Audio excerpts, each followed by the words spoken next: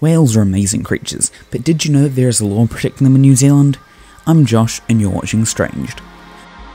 According to the New Zealand Department of Conservation, it is illegal to make too much noise around whales. This law is in place to protect these majestic creatures from the negative effects of noise pollution. Whales are highly sensitive to noise and it can interfere with their natural behaviours.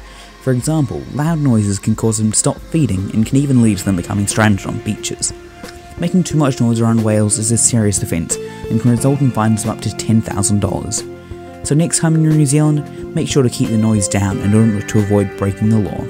I'm glad they're protecting them because